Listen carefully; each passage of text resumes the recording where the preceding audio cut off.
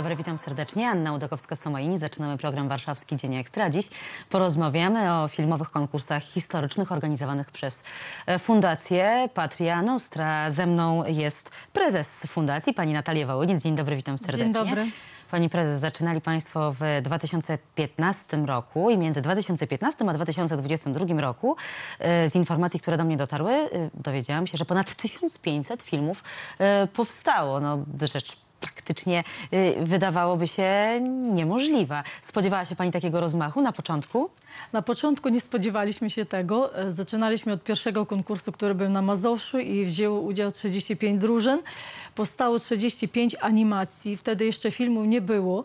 Natomiast z rozrostem konkursu, który już dzisiaj opiewa całą Polskę, cztery regiony, zachód, wschód, północ i południe, konkurs międzynarodowy wyłącznie dla Polonii i świata i w tym roku jeszcze organizujemy wyłącznie dla drużyn konkursowych ze szkół artystycznych, konkurs dla szkół artystycznych wyłącznie. Więc y, w całej Polsce jest około 200 szkół i mamy nadzieję, że większość z nich y, zechce wziąć udział w naszym konkursie. To co stoi w takim razie za sukcesem? Y, atrakcyjne nagrody, czy po prostu ten głód wiedzy historycznej? Myślę, że wszystko, dlatego że nasza formuła to jest współczesna, to jest film, to jest animacja. Docieramy do młodego pokolenia z tą e, nową formułą, która pozwala im na zainteresowanie się historią z innej, z innej strony, z innej per- Ale aż perspektywy. trudno w to uwierzyć, że tyle młodych osób jest zainteresowanych historią. Ponad 6 tysięcy uczniów wzięło udział w tym konkursie. Tak, bo drużyna konkursowa e, stanowi cztery osoby, trzech uczniów i nauczyciel, opiekun lub rodzic, bo e, chciałabym powiedzieć, że nasz konkurs to jest dla wszystkich młodych ludzi w wieku od 12 do 19 lat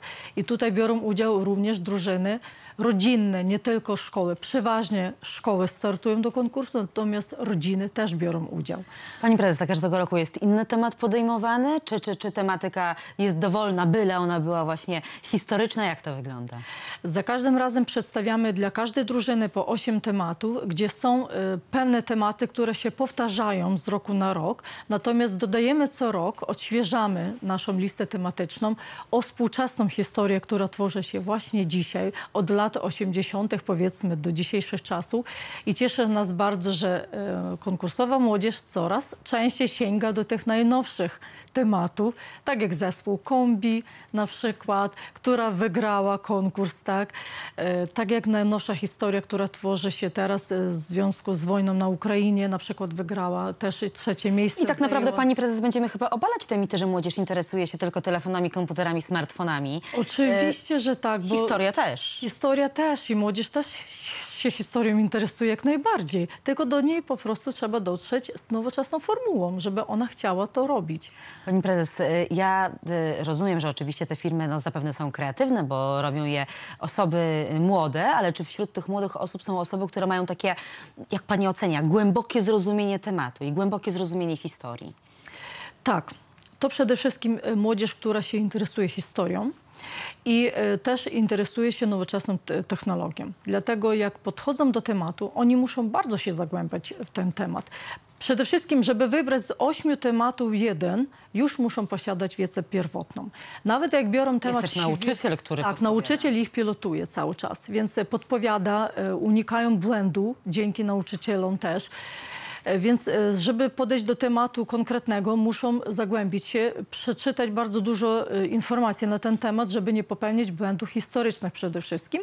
I tutaj już wokół tego tematu zaczyna się praca nad filmem, która trwa od jednego miesiąca do trzech czasami. A filmy są długie? Filmy pierwotnie powstają nawet dwugodzinne materiały, z których muszą wykroić tylko 60 sekund. I to jest bardzo ciężkie, wybrać taką pigułkę informacyjną, którą chce się oglądać. Musi być ciekawe, intrygujące i fajne No ale taka pigułka informacyjna to chyba jest w tym kalendarzu, który pani przyniosła do naszego studia. Tak. E, Patria Nostra 2023, bo widzimy tutaj, że mamy e, takie no, urywki e, z filmów, e, z gali, z nagród.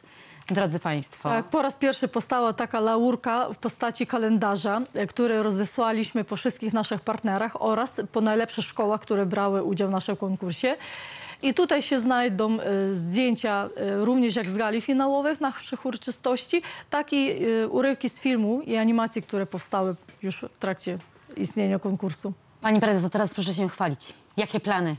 Plany bardzo grandiozne. E, Raz, że uruchomiliśmy konkurs dla szkół artystycznych, co jest nowością. I tutaj zapraszamy wszystkie szkoły artystyczne, które jeszcze e, nie zarejestrowały się do udziału w naszym konkursie. Dwa, że już rusza portal informacyjny, taki dydaktyczny, z naszymi pracami konkursowymi, o którym zapowiadaliśmy cały czas. Więc lada moment już e, rejestrują się drużyny, już będą przeprowadzane lekcje w szkołach na podstawie e, naszych filmu, czyli będą e, brały udział nasze filmy w ich lekcjach i rozwijały tematy wokół tego filmu. E, Tutaj w tym portalu się zgromadzą wszystkie filmy dotychczas zgromadzone na naszej stronie internetowej, ale już będą na portalu i nauczyciele lub uczniowie będą sięgać po prostu po te materiały e, w ramach dydaktycznych zajęć. No, pani Natalii Wołynic nieraz udowodniła, że chcieć to móc, zatem marzenia się spełniają. Trzymamy mocno kciuki, e, żeby i te plany się zrealizowały i to jak najszybciej. Dziękuję serdecznie za wizytę Dziękuję w studiu bardzo. Warszawskiego Dnia Ekstra. Niestety musimy już postawić kropkę, choć możemy pani słuchać w nieskończoność tak naprawdę. Dziękuję raz jeszcze serdecznie. Prezes Fundacji Patria Nostra była moim i państwa gościem, widzom Warszawskiego Dnia Ekstra. Życzę miłego dnia, może jakiegoś z książką historyczną lub filmem historycznym, a dlaczego nie? Do zobaczenia.